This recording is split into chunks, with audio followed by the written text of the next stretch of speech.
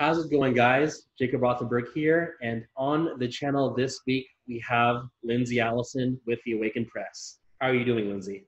Hi, Jacob. It's so good to be here. I'm doing so well. How are you? Doing well. So we're actually alumni in a online coaching program, and I thought it'd be really cool to bring you onto the channel and uh, talk publishing. So uh, welcome. Thank you. I'm really grateful to be here. yeah, so we haven't talked much prior, but I thought this was an awesome idea. So um, I'll get right to it. Uh, what is the Awaken Press and um, what's it all about in the publishing space? Thank you. Uh, yes, so the Awaken Press started in 2013, and we have a traditional publishing background Right now, we are a hybrid between traditional publishing and self publishing.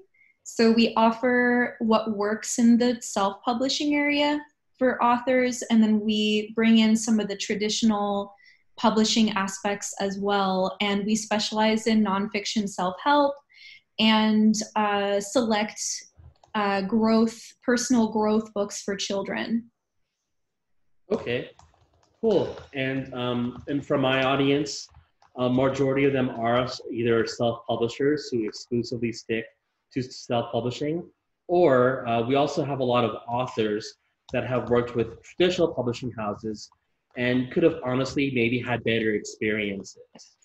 So, um, yeah, I'll cut right to the question. What would be the allure with partnering with the Awaken Press, if I'm someone that might be self-publishing currently in self-help and um, wanting to perhaps do better with self-help, why would I partner with the Awaken Press? Okay, I think for a, a couple different major reasons. Uh, the first being that after publishing, we do have that ongoing support for authors uh, it feels a bit like family when we're working together. Uh, and it feels a bit like an agent as well. So I'm representing the author. It feels a bit like an agent where um, I help them get book signings. Um, we do a bit more of the traditional publishing aspects, such as getting on the TV interviews, um, like Forbes or CTV, uh, things like that. Uh, so there's ongoing support like a traditional publisher would have after the book is published, and that I do for life because I love books, I care about the authors, and I just really want everyone to succeed. Call it crazy, but it's a bit of a legacy thing, so I want to help everybody rise up. So Wow, yeah. that's very cool. I mean, I'll be honest with the channel. I don't have immediate access to book signings or immediate access to Forbes and other outlets like that. So that's definitely a lot of firepower for someone that wants to like really take off in the self-help niche for books. Yeah, I think the other way, the other layer, um, aside from the support is, and I just want to clarify that not everybody gets onto Forbes, not everybody gets onto CTV, but there are methods in place that work uh, that I've done multiple times before, and it really depends on the the author's niche. So the second aspect, I think, to help nonfiction self help authors uh, succeed more is we really work with the content, mm-hmm. with uh, how we're offering how you're offering a transformation for the reader. So really looking at the uh, identifying your niche, right? So mm-hmm. just really making sure that you're really targeting the right audience. Okay. So I see as that as being part of like the pre-production phase with just doing like demographic research, customer yes. even keyword research. That's definitely vital because how can you market a book if you don't know who to market to? Um, one thing I'd bring out there, guys, for those of you listening, and this is so common with self-publishers as well. As people who do self-publishing, a lot, the majority of us actually start out doing our first book ever in the in the self-help niche, just because intrinsically a lot of us want to help others. But when we publish, we find, oh gosh, there's a million other books on this topic, or well, how do I compete against Tony Robbins in the self-help world? And if you don't have any direction on proper marketing, or if you don't have expertise on how to compete against other titles, you're kind of dead in the water. So I can see why partnering with the Awaken Press would provide immense value as you do need expertise and marketing to really succeed in a difficult world like publishing. Thank you so much. Um, I really appreciate that. I think that uh, because of COVID, like we were talking about, a lot of the bookstores and stuff you know they've closed down right now. So so but being able to have that avenue to the bookstores is also really important for authors not just the access but the uh like the footwork and the legwork that goes on with it um during that ongoing support.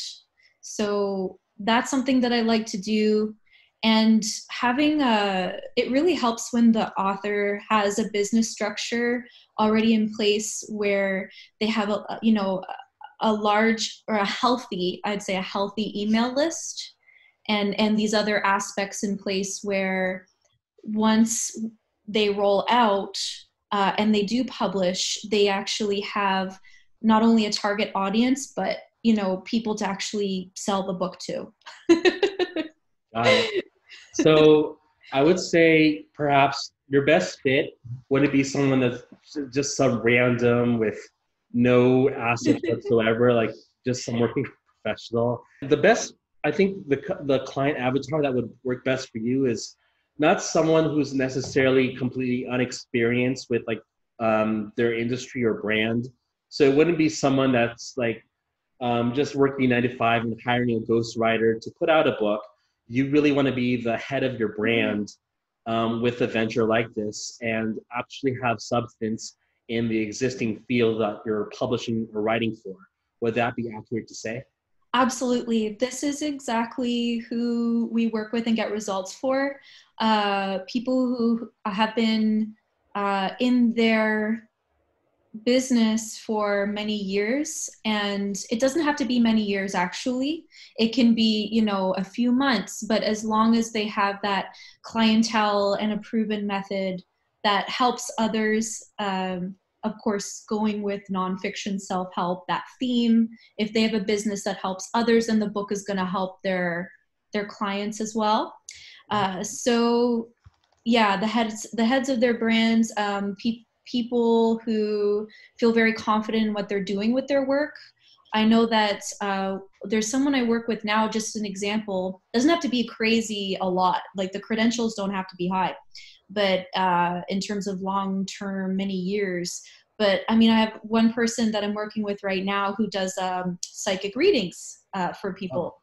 And so she's she's very much she's very experienced um, in that niche, and so when the book comes out she's already ha- she already has a bunch of people that are you know um, she's a good example. She already has a bunch of people that are ready for the book. And she already does readings uh, for a living you know uh, and so whenever she goes to the mall to do her readings um, or you know any aspect of that she has the book ready and they it, it's it's uh, more informative when they have questions. So it's all about intuition, you know, how to use your intuition, things like that. So it's a good example. Um, you don't have to be, you know, the CEO of of whatever for 30 years. You can just be an expert um, for a few months as long as your concept works. Okay, I really like something that you said in that you want to be able to leverage either potential readers or your clients, fans, that'll either buy your book and or review your book so that you're not just on live release day publishing with no guaranteed sales no mm-hmm. reviews and um, that would be detrimental but um, so would it be fair to say you help um, professionals also in the marketing process with like developing an arc team and um, facilitating reviews uh, reviews and sales for day one of a launch Yes, we plan the launch. We plan a pre launch as well, if that's the case. and uh, there's different tiers of the marketing. Uh, and if the person, if the author wants to go really, really far, then there are packages in place where there's a full PR blueprint, you know, full marketing blueprint where you get into the traditional media um, as well. Uh, but it's it's not always that. It doesn't have to be so big and so daunting. Um, you know, again, uh, taking the author for the intuition book that we that we spoke about, uh, she's not going that route, and uh, we feel really good about this book for her because she knows exactly uh, who she's going to be, you know, giving the book to um, in terms of sales and everything. So so all we had to do in that case was figure out a plan so we just kind of looked at it months ahead and and and made things up that way. So yeah. Cool. Okay, so I know everyone's definition of success is different. So you don't have to be a New York Times bestseller to consider your book to be a success. And um, I was going to ask this question, although I guess it's not as relevant, but maybe I should ask it anyway.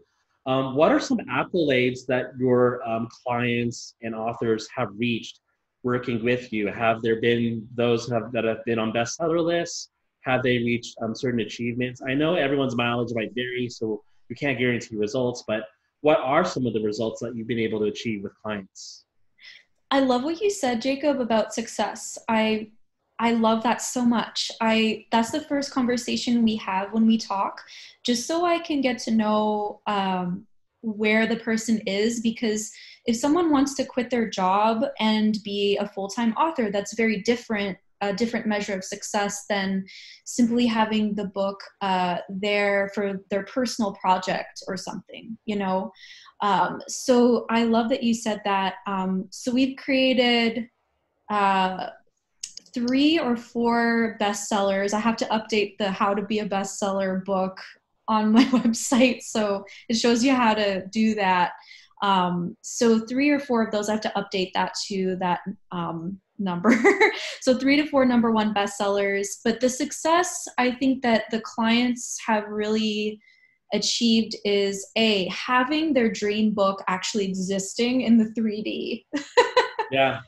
You know, like they've been waiting for years to have that out, whether it's an ebook or the paperback or the hardcover.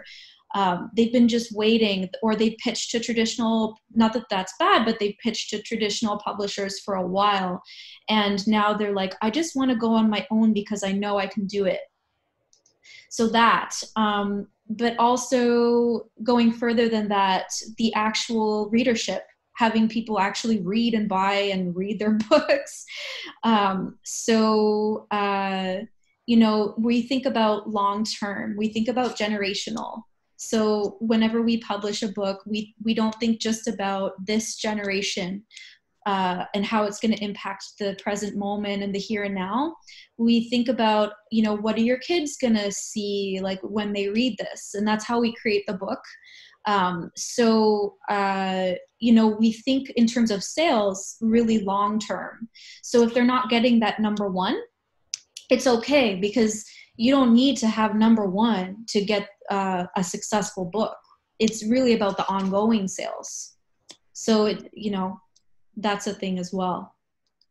Yeah, um, I think just in virtue of creating the book and having it come to life is a success. It's definitely a very arduous process and an achievement actually to go through the writing, everything involved, and having it come to life.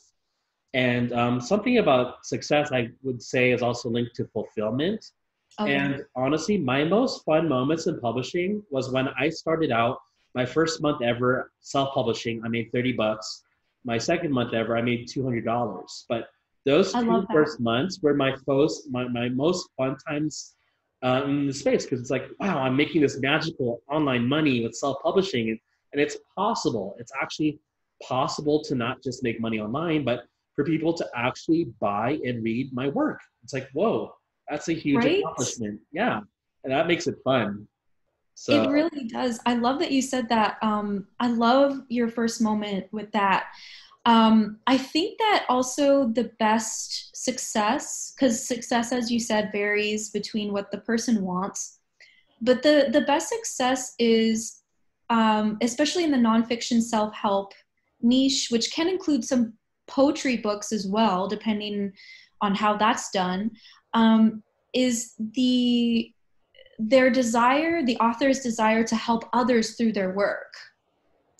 So I think a really good example for that is one of the authors, Marley Liss, who I've worked with. I talk about her a lot because she just blows my mind with how amazing she is.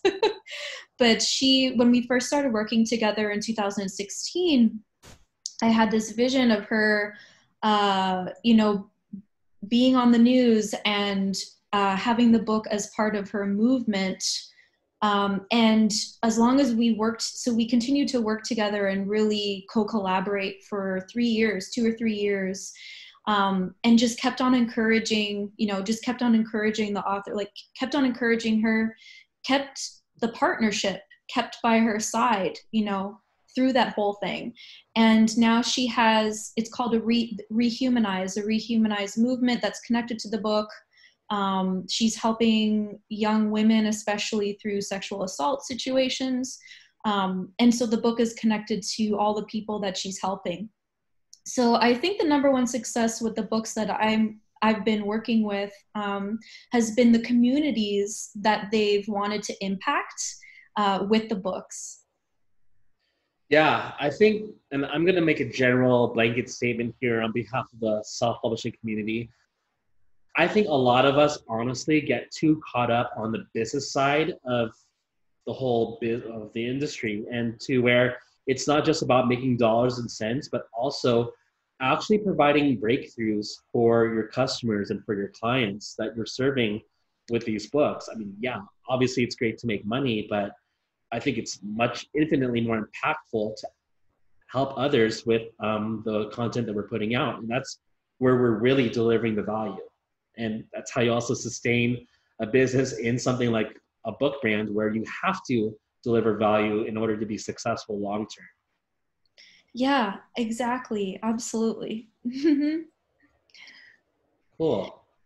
So um, i think you mentioned i want to just get into a little bit of the technical. So with the pre-production side what do you help with um, if i were a client starting out with you? What are we looking at working together once I have my manuscript um, either written or I'm still in the process of plotting it out? So uh, that is really great. Um, basically, we can just start off with an idea. It doesn't have to be a complete, full fledged manuscript. I work with people from all stages. Uh, my my background is editing and academics, academic stuff. So uh, uh, all of that comes into play with the book production, where it's content. We look at the content. We really work with the how the reader is going to be transformed. We look at the how to where is your ideal audience. All that stuff goes into the book production. So it's really um, hardcore editing. hardcore editing um, and but it's not ghostwriting so so uh, I used to ghostwrite. I uh, don't do that anymore. Um, but uh, I just found that people weren't getting what it, what they needed from that um, from that process, or it wasn't coming across in the way that was you know designed to do. And it's really a lot of work. Like you really have to get into person's head to do I think that. People just weren't giving you the proper outlines for you to do your job. That's you. what it really comes down to. To put in the crass. Thank you so much. I, I just, re- so it's really been focusing on if the person just has an idea, if the writer just has an idea, then, then um, I will guide them through the writing process and I, and I help inspire them with the writing process to create the book. So uh, we have one-on-one, uh, very intimate, um, not that intimate, very intimate, uh, you know, Zoom calls or or uh, story building techniques mm-hmm. and writing techniques and stuff that we do, um, and it's all customized and tailored to the person at exactly what level, uh, exactly what level that that they're at. Um, so, and then in terms of the publishing part, uh, what's actually happened is sometimes they go off to traditional publishers after they're done. Um, sometimes they decide that they want to go and pitch the book that way. Uh, so, but then sometimes they want to do what I've offered with the publishing, and uh, they uh, and then we do that hybrid process where we do the self-publishing. Um, I do the mechanics of that, so I set them all up. Uh, my team and I set them all up with everything that they need. Uh, the mechanics of self-publishing, uh, so they can collect 100% of the royalties uh, and then, um, so I guide them through how that all works, all the mechanics of that, um, if they choose to publish that way. Um, and then um, after that, uh, you know, if they do decide to publish that way, then they get that ongoing support, and I act as kind of like their agent um, in that way. But but not everybody, you know, decides to publish. We can just focus on the actual book creation and, and that's where my background is and that's what's so fun you know? Yeah so. absolutely. and i think uh, this is a question that would come up from viewers and people listening. Do you have connections to like great cover designers great freelancers in place? So that's all covered. Yes uh, lots of the uh, a couple members of the team uh, are from the traditional publishing background. And uh, that's all covered. So we don't have to do the full I think sometimes I make it sound really big and really daunting, so I just want to come back down to earth a little bit. We don't have to do the full thing. It can be pieces of the publishing, it can be pieces of the book creation. So sometimes people just come and they already have their their writing done and they just want an ebook. So we can design that. Um, I don't do the actual designing but uh, the team does that. Um, so everyone has their various jobs. Uh, it's kind of like a little, you know, boutique publishing house right now. yeah, yeah. Very cool. And um, yeah, I think it just, I know it's really nerdy, but hey, we're in the publishing space, so it's a lot of fun for everyone. Um, you really have your own agency going on, and it's really cool to see that you're successful with it. Thank you. And I love nerdy. It's so exciting, you know? uh, I mean, you've been in business for uh, almost over seven years now, so it's good that you're, you're, passionate about it and it's still exciting to you. I can see it with a smile on your face that it's still, um, you know, a passion of yours up until now. So very cool. Um, one thing that I want to ask out there is, like, do you have a free guide or a resource that someone can um, access if they want to learn more about either what the Awaken Press has to offer or some tips and pointers you can give? Do you have like a landing page or website for that? You're amazing. Thank you. Yes, I have uh, a guide right now that talks about, uh, there's a few points on there called how nonfiction books that work. It's called nonfiction books that work, and it's it's a it's pointers. It's a very quick, meaty ebook uh, that I am offering for free to help the you know the the author at or the budding or aspiring author and it's filled with nonfiction self-help uh, publishing tips. So it's really a juicy little guide. So yeah. Very cool. And is it something that um, i can probably provide as a link in the youtube description below on like a website? It seems like it may be a name and email. You can get the guide for free. Would that be fair Yes, absolutely. And they can also email books at theawakenpress.com and I can email them the guide as well. So, yeah. Mm-hmm. Okay, awesome. So we'll get that landing page set up for anyone that wants to learn how to do nonfiction more properly. And um, for those of you listening out there, whether you're a self publisher that's just trying to make money online, or you're someone that's in the self publishing space as a working professional, look, I know it sounds pessimistic, but the honest truth is going out there alone can be very daunting and the odds of success are against you just doing it on your own without anything to leverage in terms of marketing expertise or even pre-production expertise. So it really helps to partner with someone, whether it's an agent or a coach or even just a consultant, and get the right direction that you need so that your work will actually be read be acknowledged and be able to help people and deliver value. So that's what I have to say about it. Thank you so much, Jacob. I'm excited about what your company is doing as well. Yeah, we're in the uh, right now. We most specialize in the romance publishing niche, uh, romance fiction. Um, but that's a whole other topic. I'm not here to sell, but um, yeah, we're doing well, and um, I, I think uh, things have been really hit off this well this year, despite COVID and everything. So uh, we're happy. So um, with that, is there anything else you want to say as parting? Anything else you want to conclude with? Uh, just a thank you and um, don't get discouraged if you're uh, wanting to be author, aspiring author, or uh, an existing self-published author, or you're thinking about self-publishing or going in general the publishing route. Don't get discouraged um, about your dream because the book will become real and there are options out there uh, to get your book to become real. So never give up on your dream of publishing and just, uh, you know, keep on, keep that idea alive.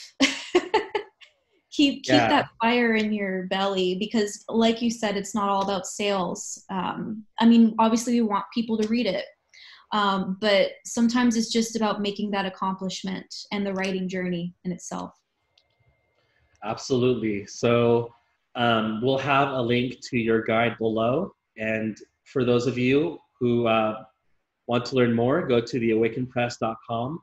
Likewise, Lindsay is also on Facebook where you can, uh, I assume, find her and get more information on her program and her company. And yeah, it was a great time speaking with you, and I'll see you later. Thank you so much, Jacob. Okay, thank you. Take care. Bye.